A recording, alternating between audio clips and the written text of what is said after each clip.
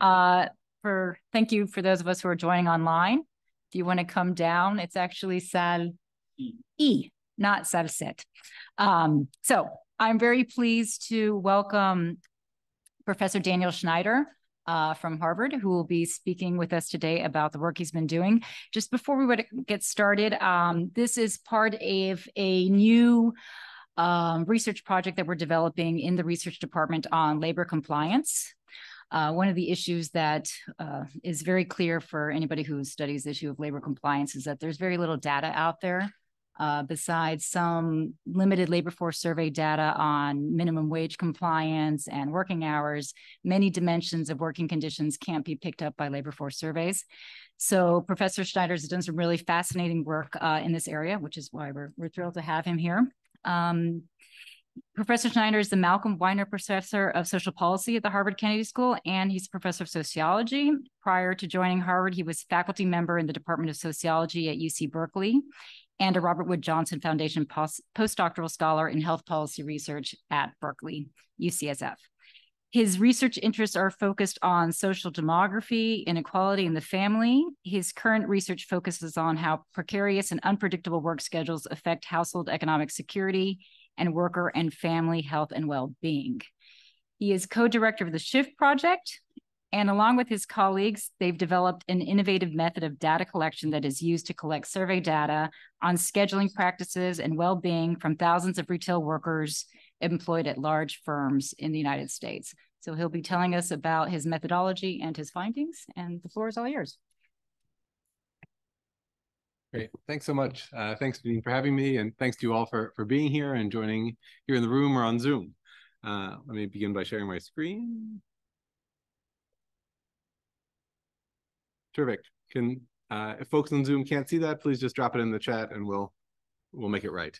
Um, Great. Well, what I'm going to talk about today is in some sense a sort of summation of, of, of, a number of strands of work that we've been doing at the SHIFT project over the last few years. And much of this work is co-authored with SHIFT co-director Kristen Harknett, who's a professor at UC San Francisco, but some of it's also co-authored with many of our wonderful graduate students and pre-doctoral fellows and, and others on the project. Uh, I'll, I'll, list them out at the end, but wanted to give credit up front as well. Um, as, as this group knows better than me, um, work has become more precarious over the past several decades, in the, especially in the United States, our area of focus. If if there are places where bad jobs are better, as Tilly uh, and Carre have termed it in their book, maybe the U.S. and in particular the U.S. service sector is where bad jobs are worse, driven by the forces of financialization, globalization. As a good Berkeley sociologist, neoliberalism really transformed the world of work in America. It has led to what the political scientist Jacob Hacker has called a great risk shift from institutional actors to individual households, and a resulting growing precarity and polarization in work. When we think about bad jobs in America, we often use the shorthand of low wage jobs, and wages make a big difference. They matter a great deal. Uh, in some sense, though, wages have become the sole focus for many of those who are concerned with precarious work you know, prominent scholars from you know Paul Osterman to Vasco argue that income and wages are the key dimension of job quality. And in the U.S. academic world and policy world, we see this in in, in really a, an overwhelming focus on the minimum wage, a crucial policy and one that really reflects this emphasis on wages as the key indicator of job quality. When you ask workers, when we ask workers, this is a little bit of a sneak preview of some results um, from the data collection enterprise that I'll discuss what matters to you in a good job, we certainly see that wages, level of pay, is a crucial dimension of a good job. That red bar shows that very large shares of workers report that that's essential, very important in a good job. And in the workers that we survey here, these are workers, hourly workers in service sector firms, they don't feel they're getting it. There's a big gap. But there's also a real priority on other dimensions of job quality among this very same set of workers. Benefits matter on the far left, but so too do predictable hours and the and the and the result of levels of pay and predictable hours, stable and predictable pay.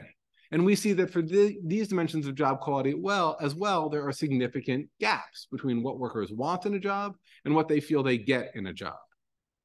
This shouldn't be a surprise.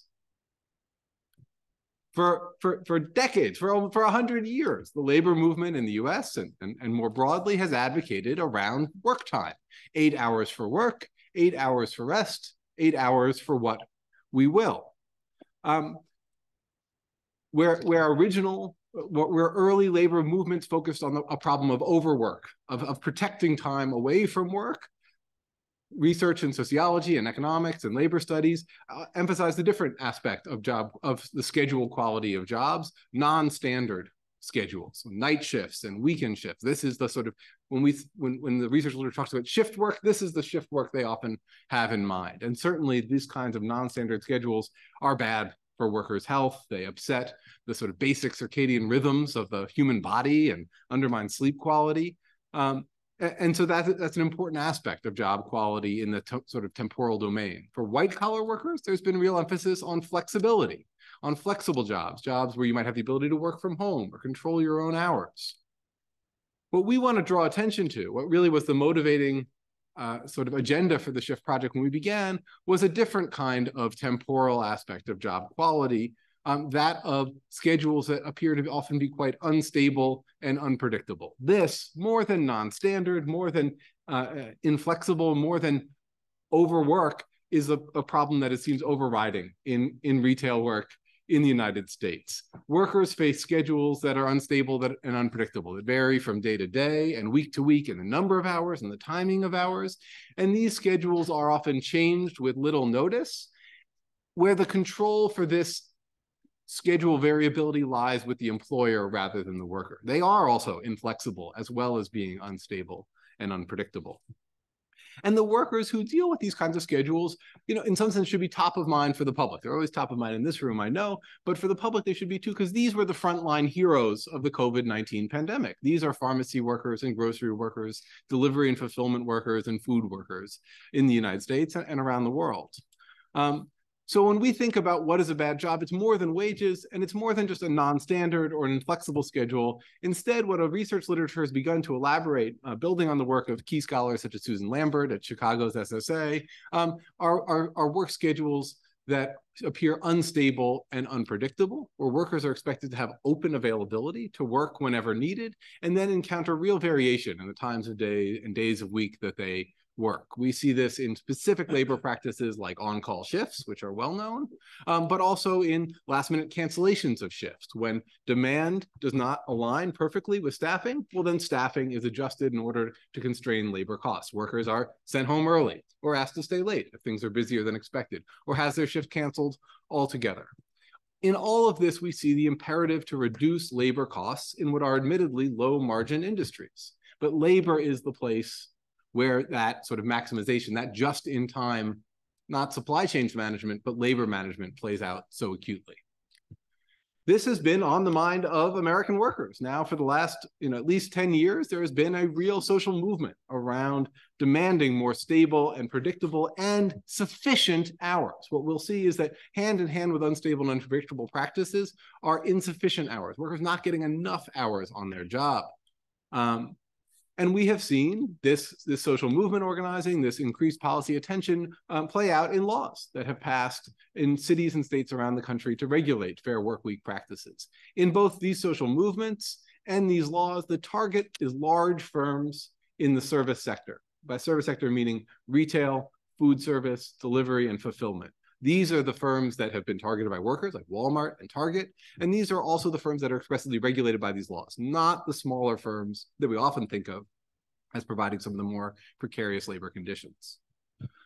But there's a problem, and it's a problem in some sense that Janine alludes to more generally on understanding violations in the world that existing labor surveys in the United States really do a, a, a not a great job of measuring these unstable and unpredictable scheduling practices. Um, there has been some advancements recently with um, folks like Susan Lambert really working hard to get questions on these practices added to the NLSY, the National Longitudinal Survey of Youth, a cohort panel study, and to the General Social Survey. Um, but we lack fine-grained measures, and we especially lack this kind of measures in the same place as data that might help us understand the consequences of these scheduling practices on economic security, on workers' health and well-being, on child well-being, on economic mobility. And it's also, unfortunately, data that is not well suited in scale or specificity to understand the effects of workers' movements that might change firm practices or the effects of local laws that might regulate work scheduling. And then we might want this data like sort of all the time and right at once. We might want it fast and at large scale in an ongoing way. And so that is what we set out to try to solve as a problem when we started the project. Um, Kristen and I are, are demographers. Um, we are used to using large scale existing population data from high quality surveys. Um, and so when we got interested in this, we said, oh, great, we'll just use the CPS or the NLSY. And it was a real, I, I mean, profoundly uh, sort of unsettling to me that I couldn't just do that. Um, and I had to make a set of real compromises with myself that I'll describe to you to settle for data that wasn't that high quality population representative sample survey. And I'll describe what we have been able to make instead, but we think provides some value um, nevertheless. So what we have done at the Shift project is designed a survey that tries to sort of uh, do the following with these goals in mind. We want to create detailed measures of workers' experiences that we can use to monitor change in working conditions in this sector over time, so a repeated cross-sectional design. We want to use this data to inform state, local, and national labor standards, both inform policymakers about the extent of problems in the sector so that they can decide if they want to take action, but also evaluate the effectiveness of these laws once put into place, um, and the degree of compliance with these laws um, in the private sector. And then we want also not just because these are the firms that are regulated by practices or because they're the firms that are targeted by workers, but we want to understand the between firm variation in these practices in the sector. What we have seen increasingly in the sociology of inequality is a focus on moving past the role of occupational or industry segregation and explaining gaps to focusing on between employer segregation processes in generating inequality. It's that kind of between employer heterogeneity that we wanted to be able to illuminate in this study as well. There's an academic purpose, there's also a public purpose. When firms make announcements and get good press that they're going to offer paid sick leave or raise wages, there's very little public accountability for whether firms actually do those things on the ground. And what we sought to do in the survey was to hear directly from the workers at large firms what they were experiencing as a way to understand what firms were really doing from the worker perspective. So to do this, we've set up the Shift project, and essentially our approach has been to build a large scale survey that does the things I laid out, but does so using a non-probability sampling design. Essentially, where can we find large samples of retail workers employed at specific firms and ask them all these detailed questions we want to know the answers to? And the answer for us has been on the internet, and more specifically, through Facebook's advertising infrastructure. And so with Facebook, what we do is essentially support their core business, selling ads to people. And we leverage th that they're very good at that they have more than just a way to reach people, they have a way to reach targeted groups of people. If I was uh, Verizon, the large wireless carrier, I might want to target my ads to um, uh, young people in the in my coverage areas who have Android devices, and, and I could do that on Facebook. If I was the Shift project, I'd want to target my ads to workers at Walmart or Home Depot or Starbucks or McDonald's, and I can do that too we use the targeting infrastructure to make audiences in the lexicon of workers at these specific firms, one by one audience per firm. Um, and then we deliver ads to them as the survey recruitment device. So it is not a direct analog, but one way to think about this is that the audience creation tool, um, in some sense, is, or the, or the, advertising platform is the sampling frame. And we are then building our, our, our target sample using these audiences. And then we're using the paid ads to recruit that sample to the survey. The ads look like this. Current or former Domino's pizza worker? Take a short survey and tell us about your job. Domino's is a maker of terrible pizza in the United States. But there are other terrible pizza makers also that we also target, and there are people who make other uh, foods. Um, there's an image of somebody who looks like they might indeed work at Domino's. Uh, they have a red shirt on in this case, or they might be wearing a, uh, a blue and, and, and, white smock if they were at, at, at Walmart. Um, and an invitation to take a survey. There's a prize-based incentive drawing here. Uh, there's a lot of questions, um, but I'll, I'll, maybe we'll hold on those. I see them popping up in the chat. Um, workers who are interested can click on this ad, and then they're taken out off of Facebook. There we cut the Facebook tie. We don't have the ability to tie respondents survey responses to data that Facebook collects on them, and Facebook does not get our survey data in turn. Um, they're asked to consent to participate in the study. It's identified as a Harvard University study, and then complete the survey. We have deployed this method now since fall of 2016. It's been a while. Wow. For my child's whole life. No, that's not the way to think about it. Um, um, to create a couple different kinds of samples. The core of the data is in these yellow boxes that you probably can't see very well. That's our national sample. That is a sample of workers across the United States employed at one of about, I think it's 150 of the largest retail and food service firms. There's a rotating design. There's a core of about 30 firms that are always in that. And then the other 120 firms sort of cycle in and out so that we have repeated observations of them, but they're not going to be in in every wave, basically because of cost constraint. Then we also draw in the blue boxes targeted oversamples of workers in particular geographies. Um, uh, scholars of state and local policymaking in the United States will recognize Seattle, New York City, Oregon, New Jersey, Washington as progressive states that have passed progressive labor legislation. In Seattle, one of the first in the nation Fair Work Week laws, as is the case for New York City and Oregon, but also these are states with paid sick leave laws, paid family and medical leave laws, and other labor standards that we're interested ultimately in estimating the effects of, and so want a targeted oversample of covered workers. And then finally, third, in the green boxes, uh, we try to describe the embedded panel design for the survey. Workers who are recruited in the cross sections, so you read down the columns in the boxes with uh, uh, outlines around them, form baseline samples. And then we seek to re-interview these workers on a relatively short panel design, basically three to six months spacing for one to three re-interviews. Here, we're not using Facebook ads. Here, we've got people's emails and texts and, and cell phone numbers, and we're texting and emailing them, inviting them to recomplete the survey. So we essentially have, I think, right actually now we're in the field with panel six. So six of these nested uh, short duration panels where we can chart workers' uh, mobility both in job quality within jobs and mobility across jobs as they leave these jobs and even exit the sector. Think of this as sort of occupational cohorts in some sense. Mm-hmm. Um, so what do we get? Well, we get samples of workers employed at firms like these. Uh, employed, essentially, it's it's the mall. That's who's in our sample, is the folks who work in the mall, uh, whether it be a suburban strip mall or the downtown area beset by chain stores. That's who's in the data. In all, I guess it's more companies now. Great. I should know that. In all, we've collected data from about 200,000 hourly workers employed at 225 of the largest firms in the sec in these sectors. These these are essentially the key subsectors in the data and some examples of some of the firms for whom we uh, uh, uh, collect data on. The survey is very hard to keep short.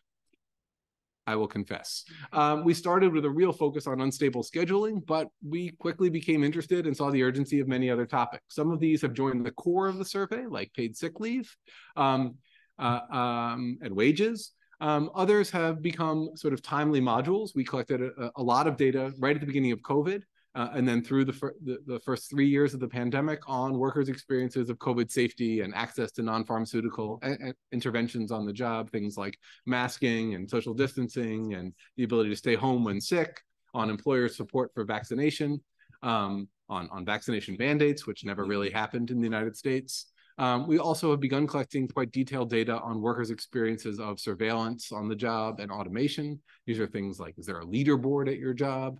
Um, are you tracked in terms of your location around the store? There, I, I can talk more about this in the Q and A. There are obviously trade-offs in terms of what workers know about surveillance and what and what they may not know.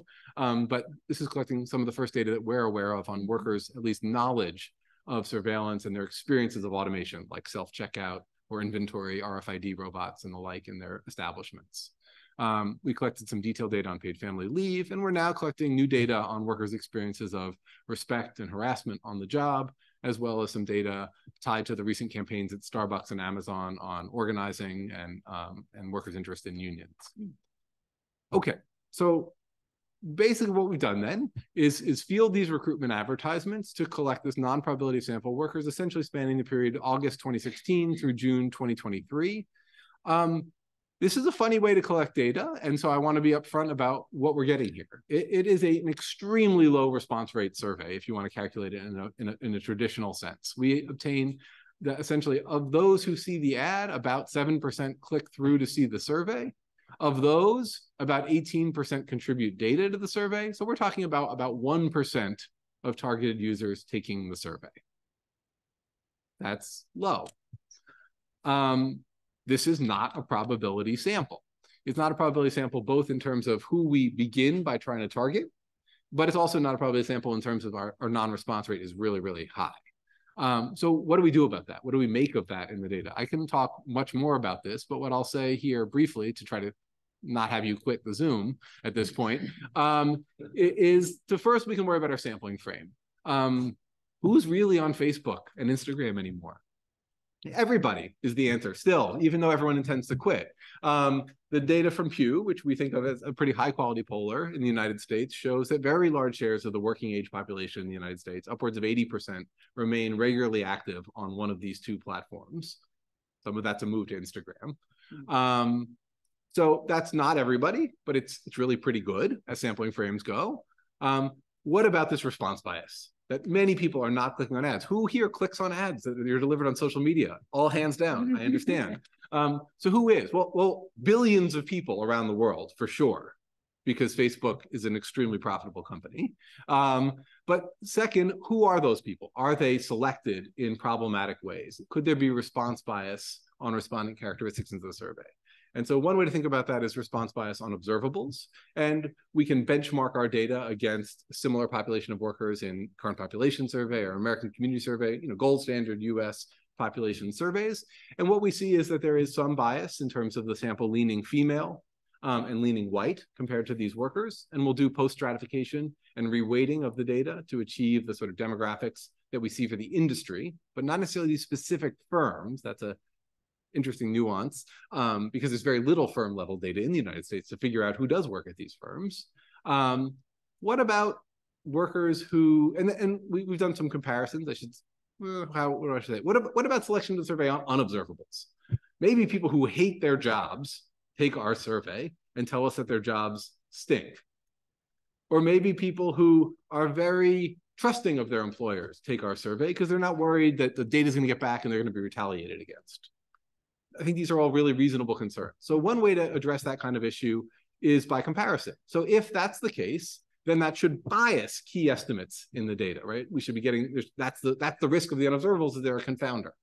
And so one thing we've done is to replicate estimates from our data against the estimates of associations in other data sets.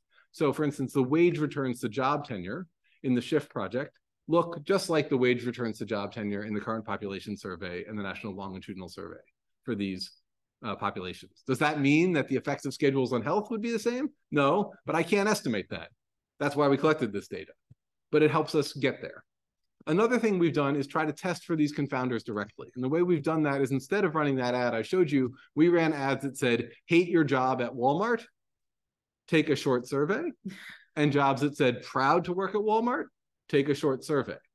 What we see when we recruit, and both those ads work pretty well, actually, uh, and when we recruit workers to it, we can then test to see if the key associations in our data look the same in those two different subsamples. So the haters are going to hate, hate, hate. But do they, does the effect of schedules on their job quality differ from those who are proud to work at Walmart? And the answer is no. We don't see an interaction in the recruitment channel in that way. Does, again, does that mean you should always trust this data? No. But these are some of the things we've done to try to convince ourselves as good demographers and the rest of you as good social scientists and hopefully demographers um, that, that this is not a crazy thing to do. Happy to talk more about this. Okay, but let's see what we learned. Um, so one of the first things we learned from the project was just how widespread exposure to schedule precarity is in the United States. Oh, I'm okay. I'm going to go faster. No, no, no. I'm going to say less. Okay. Um, and, and what we see uh, really is that there is a lot of exposure to unstable and unpredictable schedules. Um, just a third of workers report receiving at least two weeks advance notice on what their work schedule will be. Another third get one to two weeks notice, and about a third of workers are getting less than a week's notice of their schedule. About 18% are getting less than 72 hours notice of when they'll be needed to work. But even once published, these schedules are subject to change. We see that about one in 10 workers reported at least one canceled shift in the last month. About 20% reported an on-call shift, at least one on-call shift in the last month, and two thirds of workers reported at least one last-minute shift timing change, being asked to stay late or come in early or come in late or leave early and the like we sum these all up. In some sense, we can get a sort of like extensive margin exposure to work scheduling instability. We see that about 20% of workers don't experience any of this stuff. They don't experience on-call shifts or canceled shifts or last minute timing changes. They get two weeks notice. They don't work clopenings. You close and then you open with short. Yeah, okay. Um, but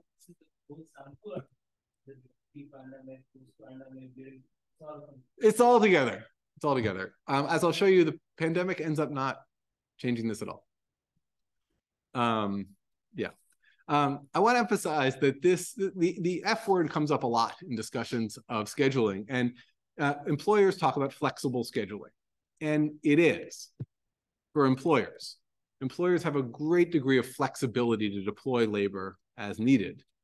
For workers, I want to emphasize that this is instability. And I, I say that with some confidence because we ask them directly. In some sense, two thirds of workers say they have to keep their schedule open and available for work. They just have to be available whenever needed. And to get hired, you need to list your availability as open. Um, three quarters say their schedule is determined entirely or mostly by their employers. The starting times are determined mostly by my employer without my input.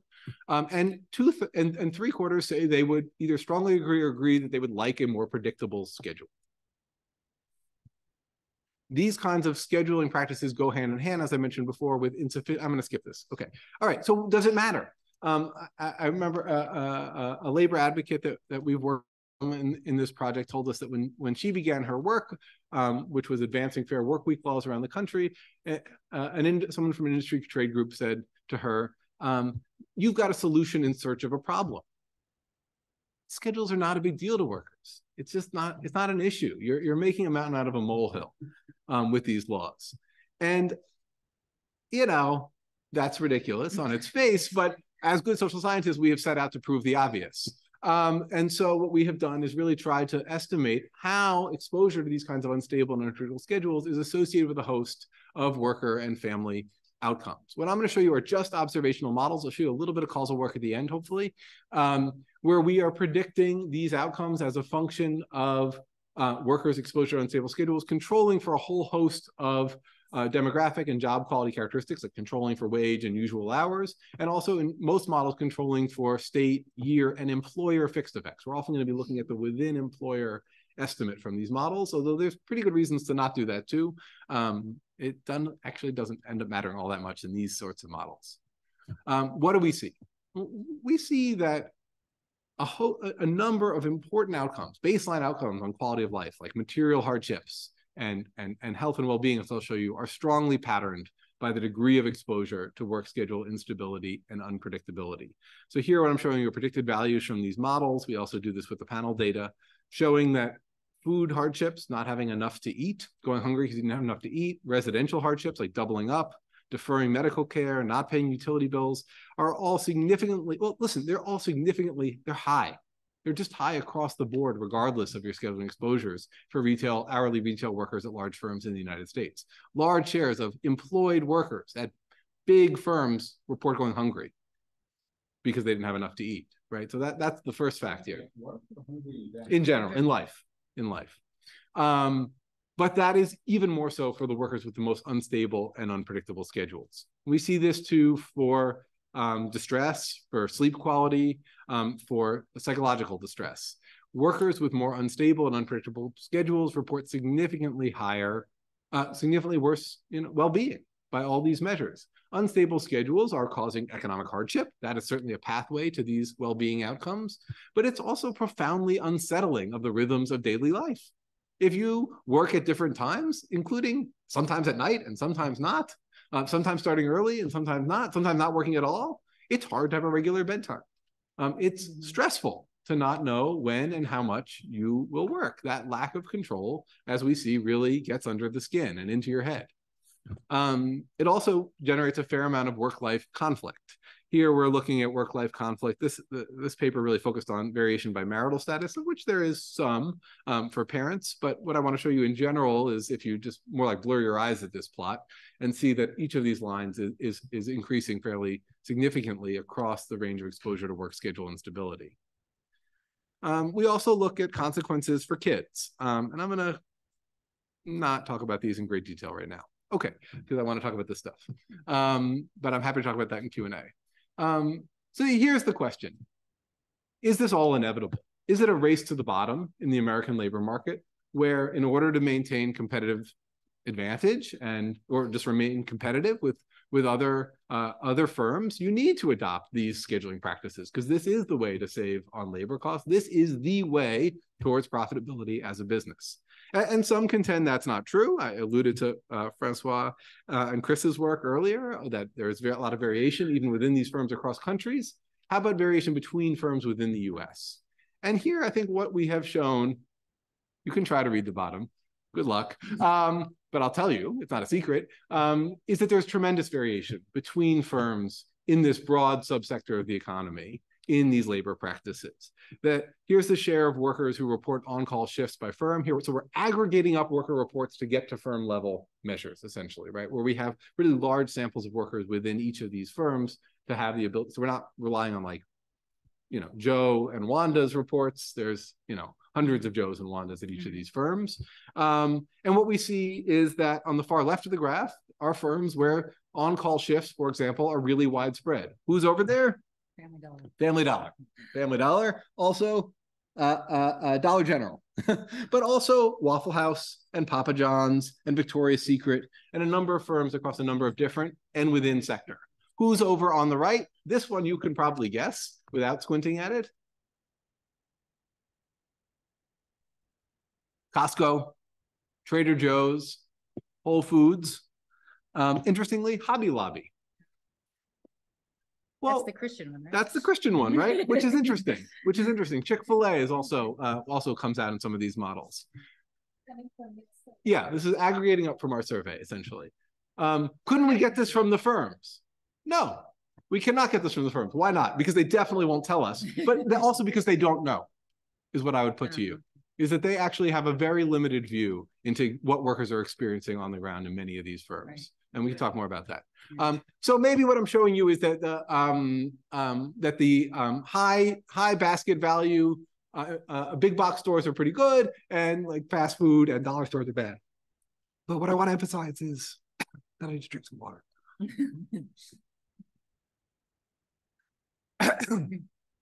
what I want to emphasize is that there's a lot of variation. Uh, excuse me. Oh, what happened? Take your time. All right.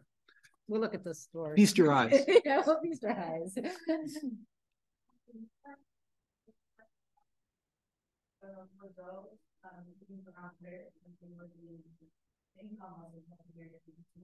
Sorry? maybe use the microphone. Press the button. Can you hear me? Yeah. Uh, just for the slides of consequence, you saw various things. Was that um, taking into account all the other covariates? Taking yeah, yeah, those are predicted values from the model. Yeah, you got it. Um, okay, so there's also a lot of variation within subsectors. So this is just comparing among fast food employers in the United States on the on the share of workers with a canceled shift. And here too, you know, not as dramatic, but still pretty significant variation. Yeah, here's our friend Chick-fil-A. Interestingly, here's Starbucks. What? Why would that? Aren't workers organized? Isn't Starbucks the place where workers are most upset?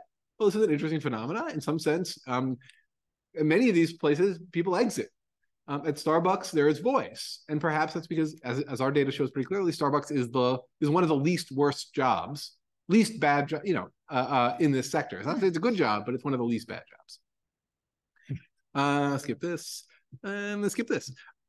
Okay, so and I'm going to skip that. Okay, so what we observe is a lot of variation in firms.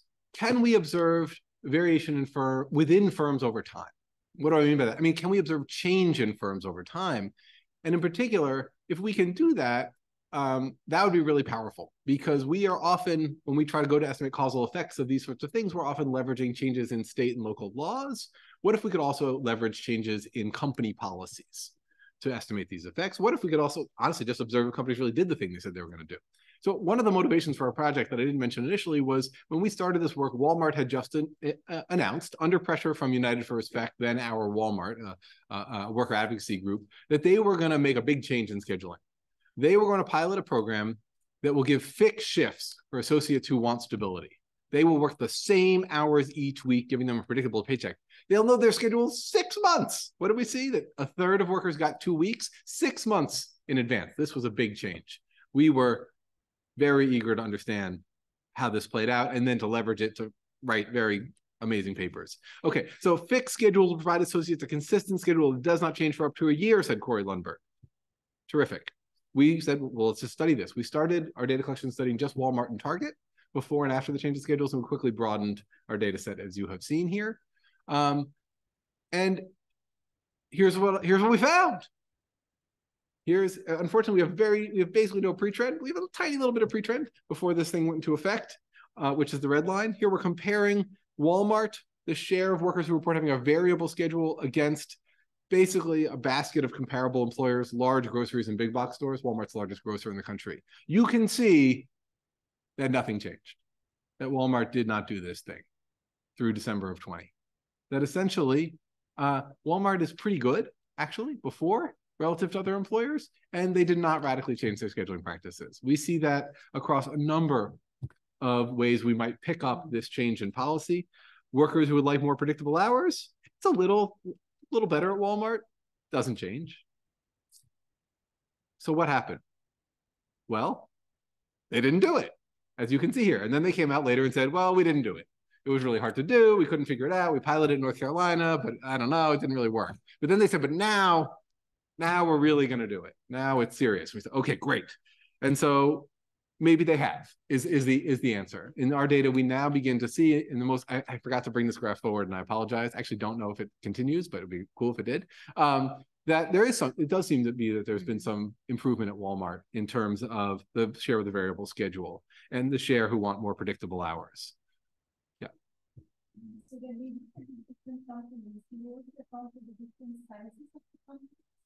because it could be that the bigger companies have rated in initiatives that end up changing the smaller ones have. Mm, that's interesting. So part of it's about company size. Part of it may also be about establishment size. So maybe that if you're a super center with 250 workers versus a Dollar General with one worker on staff, that you know the scheduling process is made easier.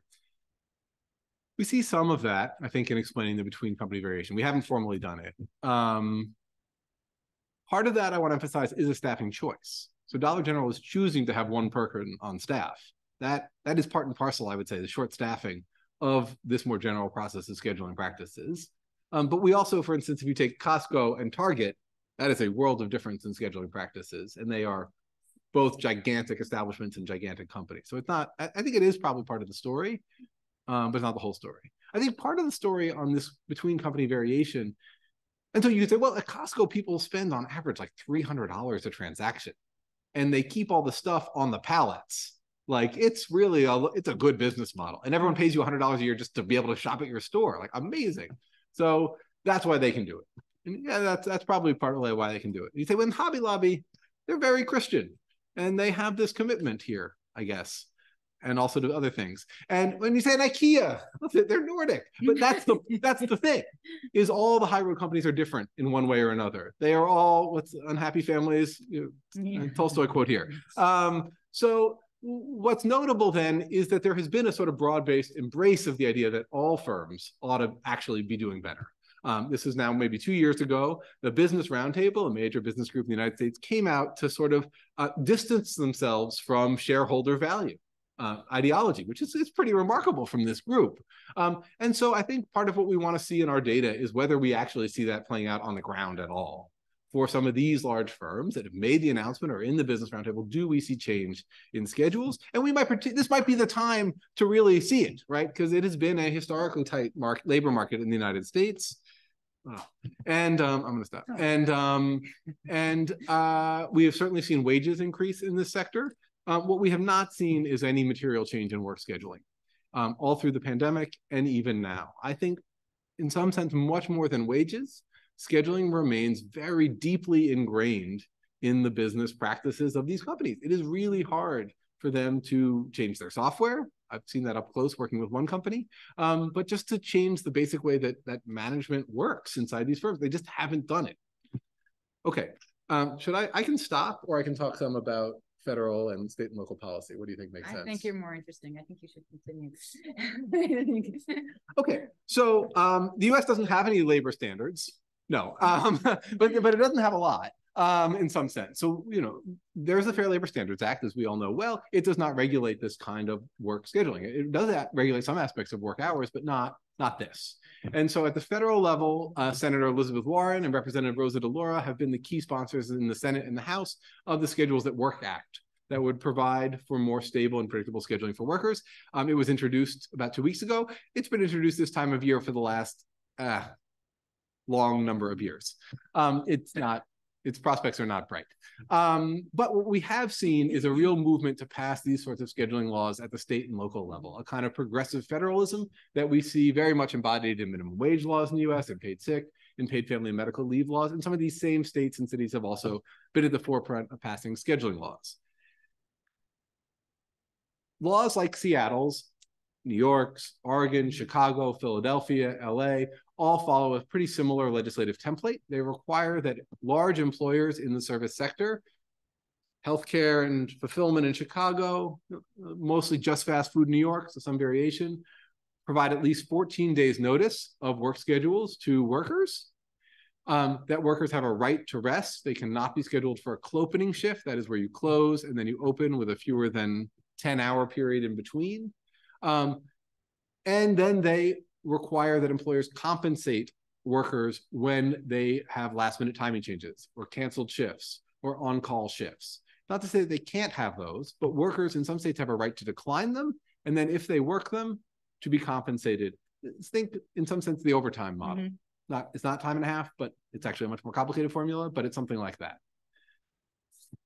In Seattle, this law is enforced by the Office of Labor Standards. It's enforced by similar local labor enforcement agencies in New York, in San Francisco, um, uh, in Chicago.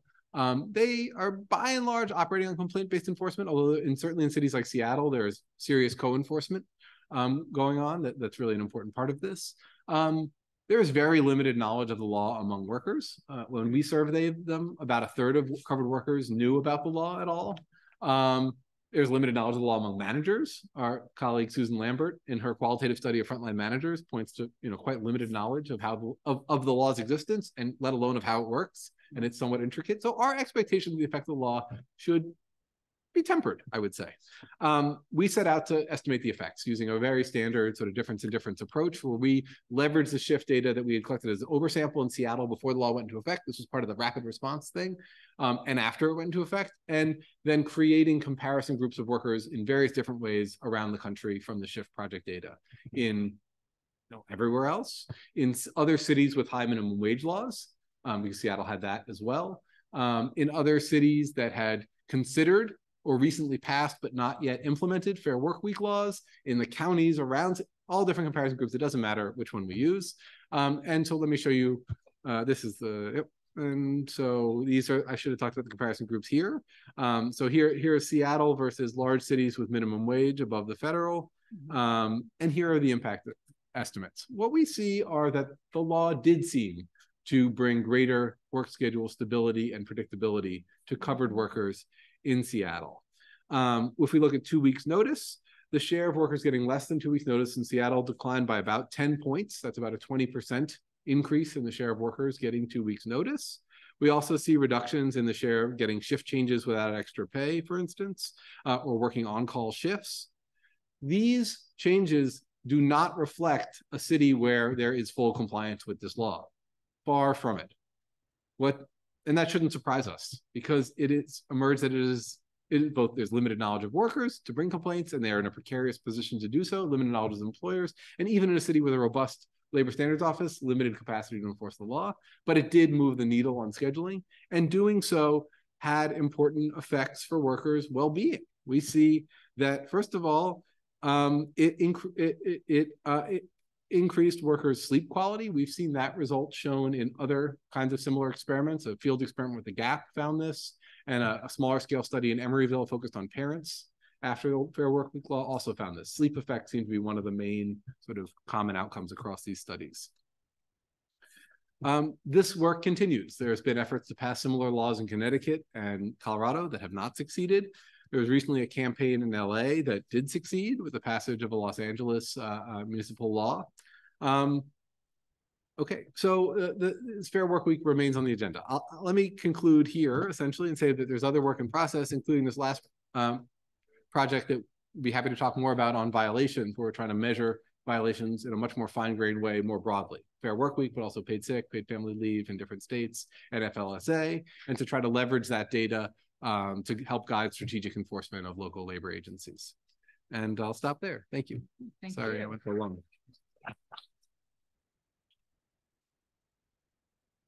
That was wonderful, really fascinating, really important work that you and your colleagues have been doing. Does anybody have any questions? Sergey, and if you could use the microphone. Thanks. So what you did there was almost an IV, right? You you got the variation in the laws, you have the variation of the X variable and the Y variable. I mean, I just wanted to ask, did you actually do an IV? Because it's it's your On the. um, what you showed was 90% of the the IV health done. Well-being outcomes? Yeah. Um, the health and well-being outcomes also from the diff and diff. But we can instrument Yeah. You- and, and we do, and that, that, that works well too. You instrument it using the laws. Yeah. The law is the instrument, which changes the scheduling, which changes the health and well-being. Yeah. Yeah. In, in theory, we do that for all these laws. Right, so we've done it for Seattle, um, because we had the contract with Seattle to do it. Um, but we have collected over samples in New York City, in Philadelphia, um, in, in Oregon. And so what we're working on now is sort of pulling all that data together to try to, you know, have basically a multiple events study or, you know, stack diff and diff essentially across all these city laws, which are all slightly different. And okay, and have different coverage, but I think basically we can try to, you know, make that work all together and have more power. Sven. Uh, just two small questions. Uh, uh, have you considered going beyond the US? Because with Facebook or Instagram, you could think it's feasible or in your uh, investigation. And also when you concerning the, the charts, when you look at the, um, the impact of the degree of predictability on uh, on various outcomes, do you control for um, for individual characteristics such as uh, um, wage level of wages or whatever you can control for. Yeah, thank you. Um, so on the second question, yeah, we're, we're doing, we're trying to control for as much as we can, recognizing that there's lots we can't, you know, observe or control for in some sense, but we're controlling for a large set of demographics and we're controlling for workers' wages and household income and usual hours, union status, occupation, um, and, and so forth. Um, what's interesting in many of the models is that when we sort of do a horse race, just an association between the reasonable variation in wages that we see in the data, so sort of 725 American dollars to an hour to like 22, and the range of scheduling, the magnitudes of association with scheduling for things like sleep and psychological distress are much larger than the magnitudes over the wage rate. Now you could say, okay, that's because $22 remains a poverty wage in the United States. And I would say that's true. But in the world of the possible for service sector workers, schedule stability makes a much larger difference than even much larger wage gains than, than imagined by the minimum wage world. On the second question, I would like to do that. That would be great. Let's talk.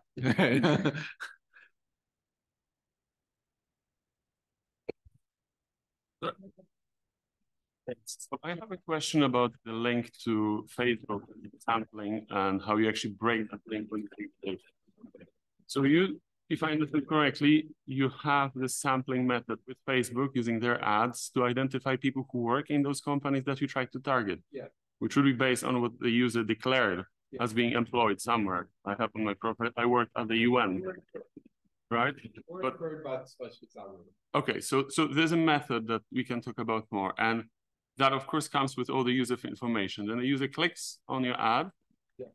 And then you break that link. You don't collect the data from Facebook, but you rely on what now they said in the survey, where they again identify where they work and so on. Is there a reason why you break that link? And could it not be better to connect the two? So to capture the data of the user who clicked on the ad and see how the 6.7% now work with what these users declared. And implied in the question is, how do you know these uh, Facebook is- is not selling you at least, at least partially data bots? Yes. Okay, so we, yeah, everything you said, that's how we find the workers on Facebook. And they click on this, and when they click on our ad, they leave Facebook and they go to harvard.qualtrics.com or whatever it is, which is an online survey platform, mm-hmm. right, that Harvard has a subscription to and where people run all their surveys through, and at many universities also. The first question basically just check, ask them, hey, where do you work? Um, and we ask again, and what we see is that everybody says they work at the place that we targeted them for working at. Um, and that makes a certain amount of sense. Could it be that workers, that random people see this ad and they say, "Oh, I want to win five hundred dollars. I'll take a survey and say I work at Walmart." Obviously, I'm supposed to say I work at Walmart or whatever that was, Pizza Hut. Um, that could be. What we have done though is run these same ads that are not targeted. So we said working at Walmart, and we just sent it to the general population. Actually, I think we sent it to the population, like the low income, like less than fifty thousand household income, and nobody takes that ad. That ad does not work it's not targeted to people for who work at Walmart and people who don't work at Walmart. They don't take they don't click on that. They don't take that. So I actually think we are getting workers who truly work at these places. Okay, wait, there was more to your question. Um, the link. Why, why do you break the link? Why so we break the link. We break the link by going to Qualtrics. Why did we do that? Okay, I, we did that because when we started this project, they were doing this thing called Cambridge Analytica, and people were very upset, rightly. Okay, so um, so we just thought this is a bad idea. It's a privacy invasion. The IRB is not going to like it. It's potentially a data that I don't even want to have. Um, we're going to not try to connect these two data sources in any way, and so we don't. Now, could we? Could we go? Could we take our respondents and go to Facebook and say, can we have everybody's data on their friends and their likes and all that? And we could try that, but I think Facebook would say, no, you cannot have that Age, gender. age gender so we can see in the and we ask age and gender so we could verify it i guess i'm less worried that people are not giving us that correctly as we're getting a biased sample of people who give us the correct information in some sense um yeah is that helpful yeah Julia.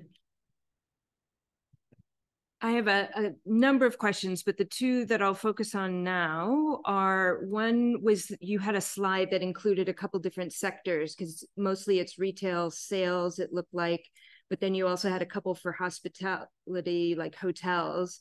And I would think the differences in the scheduling demands at hotels would be more different. And so I'm kind of curious about the different sectors. And obviously in um, healthcare, pre and post pandemic, you would see a lot of difference. And I think what would also, I mean, obviously there's a lot of different things that would be super interesting, but in in the U.S. health sector market, the difference between not for profit and for profit health facilities would be super interesting. My exactly, exactly. Um, and that's kind of linked to another set of questions that I was thinking about in terms of you know how you recruit more people to participate in the sample. But i think the more interesting question i'd like to ask is the um, when you see the data about the changes in the scheduling and you can see who the good employers are versus the bad employers and it sounds like you've done some qualitative analysis with the employers i would assume it'd be super interesting to know if they're not willing to give you data are they willing to give you information about how they train mid and low level managers and like what their incentive policies are towards what is a good manager versus a bad manager and and all of that kind of information? Because obviously probably some colleagues from better work could speak to it much better than i who may be online but like what we do in in our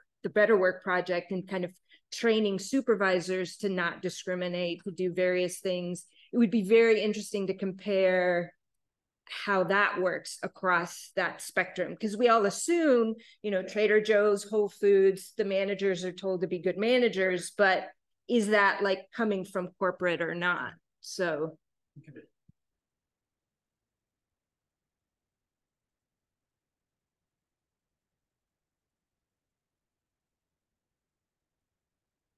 um well thank you. Um but we should. We've less of it than the rest of it. I mean they're in here but we don't we have not made them part of the core. I think we collected two waves of hospitality data.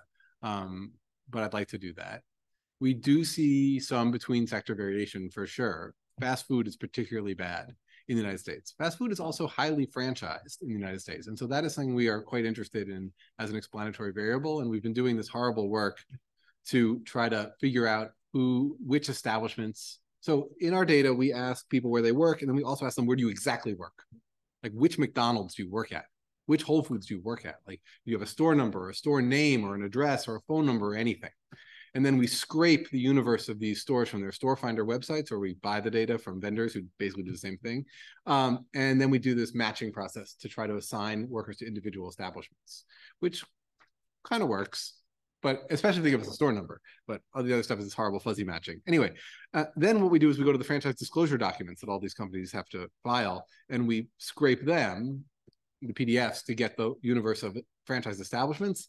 And now the goal is to merge those things together to know who's franchised and who's not. Because that's my hunch of partly why, maybe it's store size, but partly why it looks so bad is it's this fissured and extractive, honestly, from the franchisee relationship by the franchisor to some extent. Okay, um, healthcare would be great to look at. We haven't done it. In some sense, we are resistant, not, not like ultimately resistant, but we are somewhat hesitant to just field the survey to another sector because the survey is very specific to these sectors, we think, and even has logic within it that you know don't target some questions to some sectors. So I think it'd be cool to go to healthcare, and we could do it because healthcare has big employers that we need to do our sampling methodology, but we need someone who knows health. Yeah. Scheduling overtime. In health, in, in nursing and, and yeah, and we could get really rich nursing home um, uh, and, and, you know, uh, ex extended care facility data mm-hmm. on mortality and things and potentially connect it. That'd be really interesting, but we haven't gone there, but, but we probably should. Um, second question was to say briefly, and I'll remember. Managers, great. Yeah, so I think part of what's going on here, yeah, no, I got it. Yeah, managers. So um, yeah, so why are some places relatively good and other places kind of bad? Well, you're right. It probably flows through managers. Um, and that flowing through managers could be reflected in a number of things. So maybe the less training training thing is like hours budgets. So hours budgets may just be more generous at some places than other places. And then workers are less in this sort of struggle of getting enough hours and managers are less in the struggle of trying to trim their hours and calibrate their hours exactly all the time that leads to just-in-time staffing. Um, so that's partly so that, that is a difference in managerial practice but it may come more through like an hours allocation from district or corporate. Um, the other may be that managers are just you know, trained better or given different priorities. Um, what's interesting in the data is that we can look between firm and within firm and I, don't have the precise numbers off the top of my head, but some of the variation is between firm, but there's a lot of variation within firm. What's going on? How can that be? Doesn't Walmart just have a policy? Yeah, they have a policy, but then they have implementation in the stores, and it varies widely. Not because I think managers are given different directives, but because managers are more or less skilled, uh, more or less uh, um, psychopaths, um, you know, all these sorts of things, right? Like you have a good manager or a bad manager. We do qualitative interviews with the workers, but we subsample from this survey, and that's really what we hear from people is, oh, this manager I had at that Starbucks is great, but then I moved over here, and so that's that's not a corporate policy, at least not directly. Mm-hmm. That's about manager variation. It points to training needs. We ran a module at one point targeted to managers. Lots of managers take this survey, right? In some sense, because everybody's a manager, but managers take it, and we ask them about these things like how is your bonus defined? Um, what is the mm-hmm. policy on these different practices? And that is also data we haven't analyzed that much but we should. Okay. But the have you measured is there any way to measure the productivity impacts or uh, of these changes? Because ultimately you want to incentivize firms to sort of yeah yeah. Okay great. So is there a business case for stable and predictable schedules I'm not. So I guess what I want to say is that I, I do not believe we should hang the argument for stable schedules on that. Um, basically, like I would just say that. So I'm somewhat conflicted then about getting into the business case, but we have. So what do we find? Okay, so what we well, the thing we can look at most clearly is turnover. And what's wild is that like firms do not publish any data on turnover in the United States. Would you like to know the turnover rate at Walmart? You cannot. Like you cannot get it. And this is actually a big concern of like ESG investors who who have who do believe there is a business case. They're like, we just if we could only know turnover. It's like they just don't know it. It's wild. So we can estimate turnover in the sense that in the panel we can. So there's in you can basically use indirect estimation that from our friends in demography to do this by looking at the distribution of job tenure at companies. That has not gone that well when we try to do that. But we also have the panel data and we can look in the cross-section data, we ask people, do you intend to find a new job? Right. So we can look at that. That's a very crude measure. And then in the panel data, we can look at actual turnover. And what we see is that more unstable and unpredictable schedules are very strongly associated with job leaving intention and actually leaving your job. They're not necessarily leaving to go to better jobs. In some sense, what it is is a poverty trap. Um, you can't sustain it. It sucks. You leave, but that doesn't mean that you now you go work at, you know, IBM. Um, that's not what we're seeing in, in in the data. How about for other? And, and that turnover result is is not just our data. A number of groups now have access to firm-specific high-quality administrative data like time clock and scheduling data. There's a study from nursing homes on this. There's a restaurant study. They all find that unstable scheduling leads to more turnover. We have a partnership. Partnership. I'm not. We don't have partnerships. I guess we have. We have work with IKEA um, USA um, where we all we are doing a field experiment with them on schedule control and flexi- real flexibility for workers. But part of that is that we have all their administrative data on time clock and scheduling and turnover and demographics, and we also estimate a very strong gradient. They, they actually have very stable schedules by and large, but among the share that doesn't, turnover is much higher. Um, we are looking at some of these KPIs. I learned what that meant recently. I'm very pleased with myself. I guess I can be in a business school now. Um, key performance indicator.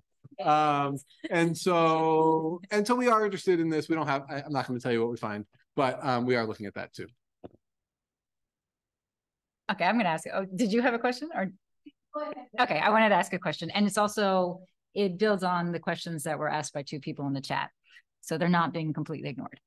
um, you say you mentioned that you met that you worked a little bit with the city of Seattle. You mentioned yes. now this partnership with IKEA. I just wanted to find out a little bit about okay, so you you find these results. Do you then go to some of the firms? Do you then go to some of the local?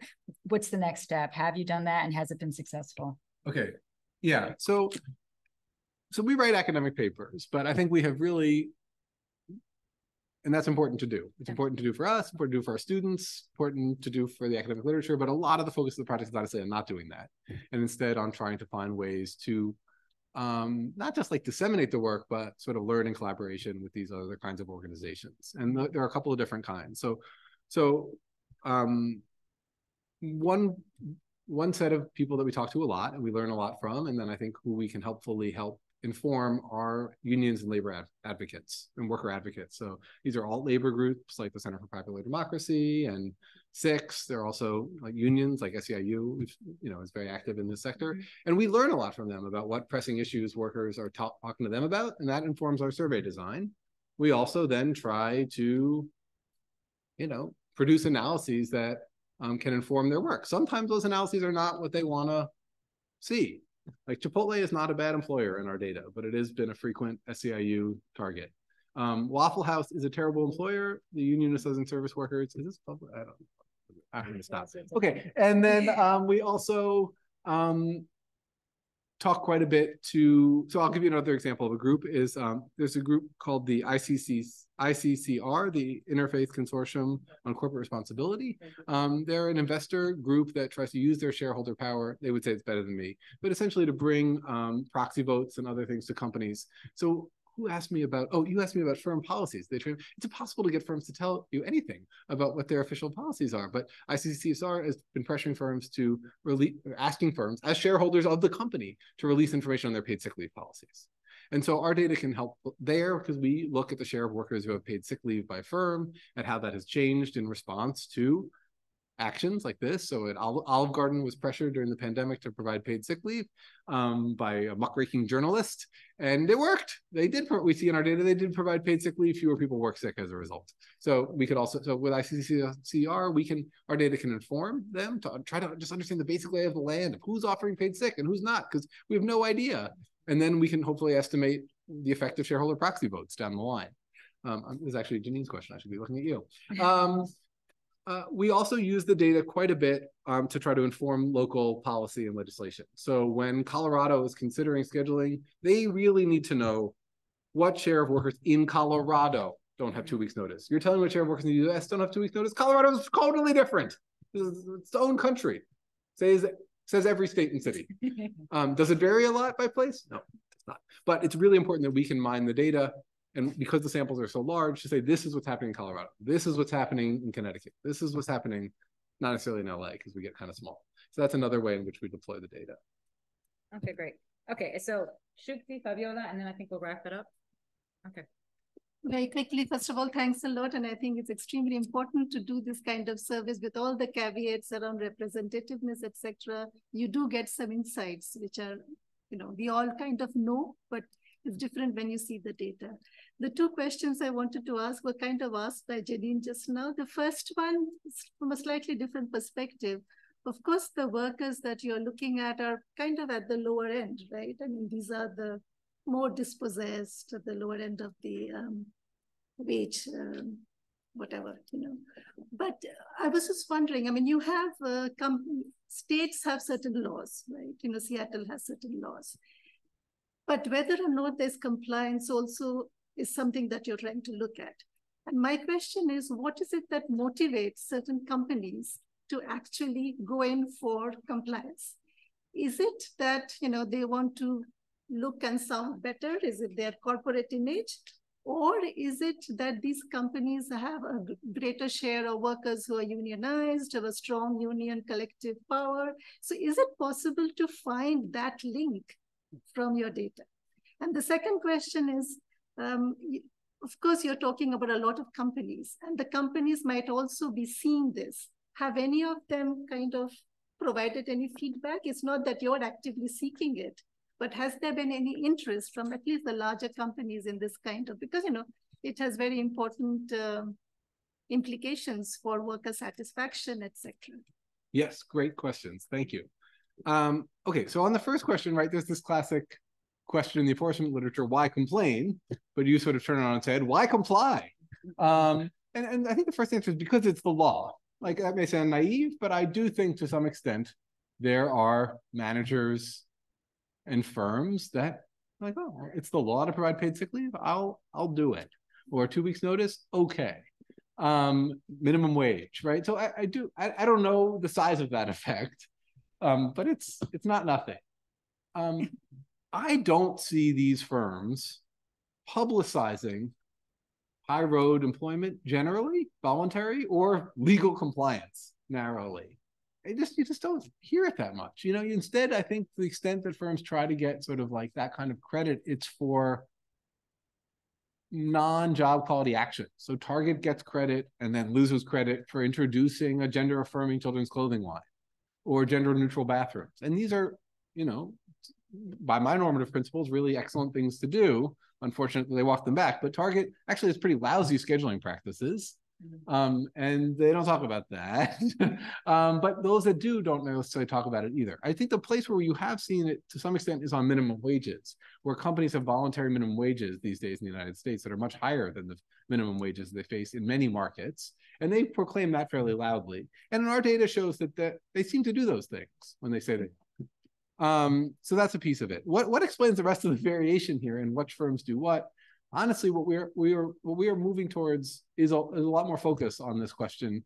And we are in the field right now with a new module asking about Fair Labor Standards Act violations, much more specifically than we've been able to do before. So, you know, working off the clock and not getting reimbursed for uh, allowable expenses or illegal deductions or um, unfair pay practices and the like. And the hope with that, and this is work we're doing now with David Weil, who has been visiting the Kennedy School and was former wage and hour director, is to um, administrator, is to try to use that. Um, those those are not complaints; those are reports. So that is to say, we think less selective than the complaint process, and to match that at the establishment level, and then use a set of establishment level variables that we're building. So one of those is the franchise status, but you know also industry store size um, sector ownership of the company um, anything we can get our hands on local unemployment rates competitive market structures to try to predict compliance and non-compliance but also then to use that to try to identify establishments that are at high probability of non-compliance so they can be investigated um, so i think that's getting us i think that's in the similar spirit sort of turning on its head it's not why comply but why not comply um, as that question Remind me of the second question. Feedback. Employer feedback. Okay. Well, so we don't. Um, so we, you know, we don't work with the employers to get the data. I think that was clear, but sometimes people are like, so how did you get all these employers to do it? And like, we didn't. um, um, and part of what we did is we, when we started, we actually tried to work with Walmart. We were like, oh, you're doing this great thing. Let's study it. And no, no. Um, well, sort of yes, yes, yes, no. Okay. So then we sort of went out on our own. Um, so we sometimes hear from employers, not much, I'll say. One way we hear from employers was when we're actively running recruitment, the ad sometimes gets shown to like executives. Because, Mhm. you know, it may be that the CEO of Best Buy is on Facebook. Um, and then sometimes we get emails from lawyers who are like, what are you doing? and uh, we just tell them what we're doing. And honestly, that's kind of where it ends in all cases so far. Um, we are yet to get Harvard Counsel involved. um, the other time we've heard is sometimes when we get in the press enough, we'll um, companies get asked um, what what they think. So this is the company wage tracker. This thing we built with the Economic Policy Institute, uh, EPI, and this is taking our data. We are like we don't know anything about wages, but they do. Let's build this together. So um, this is a, a set of the large firms in our data, and you can ask it. This is a little out of date at this point. We need to update it. You know, what share of workers get paid fifteen dollars an hour at Dollar General? Less than fifteen, and you see that ninety-two percent get less than fifteen at Dollar General, and eighty-nine at McDonald's, and where's a good one? Where's Costco? Uh, and less than 1%, like less than 15 at Costco. So they asked McDonald's, what do you think about this? And McDonald's said, that's not true. At McDonald's stores, we have a $12 an hour minimum wage. Okay, that's a very crafty answer because they're talking about company owned stores, which are less than 5% of McDonald's establishments in the United States because they say we are not liable for what our franchises do. We have nothing to do with that at all, which is laughable. But, um, and so uh, we have yet to have a company come out and say that's not true that our data, and in some ways that would be great. We have moved more and more towards just publishing company level metrics from the data. Um, in part because there's nothing else out there and we believe the data, but in part as an invitation to say, okay, so if you want to make more of your data available on job quality and you do so to refute us if we're wrong, great. Let's do that. Let's let's have that conversation. And that has not happened. Okay, Fabiola, last question. I had two questions, but I think one was already kind of answered because this was on the side of compliance and and labor inspectorates. I guess we'll talk more about that later. Then my other question is, is it was also about behavior. Um, I think it's a great project to be able to collect all this data and shed light on something that is very difficult. But have you had encountered evidence on your data being used for the wrong ways? You know what I mean? Like Yeah. trying to show light on something, but actually come backlash, workers feeling retaliation, or when you follow up with them, uh, kind of the unintended consequences of this project somehow? Thanks. Yeah, it's a very good question. I mean, I think we we worry about data privacy quite a bit.